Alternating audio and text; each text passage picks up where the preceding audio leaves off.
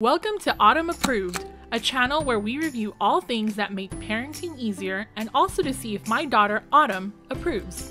As we continue the Autumn Mobile series, this is just a brief overview of the Baby Trend Expedition Plus stroller wagon. The brakes engage and disengage with a quick flip of the foot handle. I had sneakers on, but I think it is flip flop friendly also. It comes with a folding basket that you can fold in when storing the wagon. You can place the basket on the parent side or the front of the wagon. You can also order an extra basket with a cooler so that you can have a basket on the parent side and the front of the wagon, which gives you more storage. The canopy is an odd shape that can be centered to cover the sun for both kids, kind of like a visor.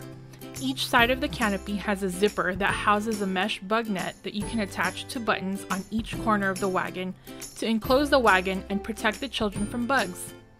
It also has a pull handle that can be used on rugged terrain and can be stowed when not in use and locks in place.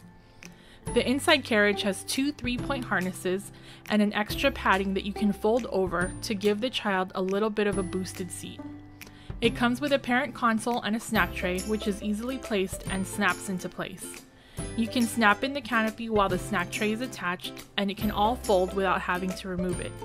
To fold the wagon, there is a lever on the release handle that you need to move aside before engaging the folding mechanism. Once folded, there is a lock on the side that you need to attach manually to keep the wagon closed for storage or when loading and unloading it from the car. To see how you fold it and how it fits in different size vehicles, please refer to my video where I compare the Baby Trend wagon with three other stroller wagons.